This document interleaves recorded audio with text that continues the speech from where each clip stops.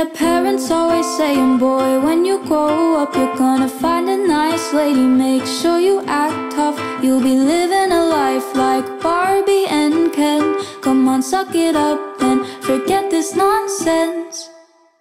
What if he wants Ken, not Barbie? Why should he have to say sorry? Tell me, do you even listen to all the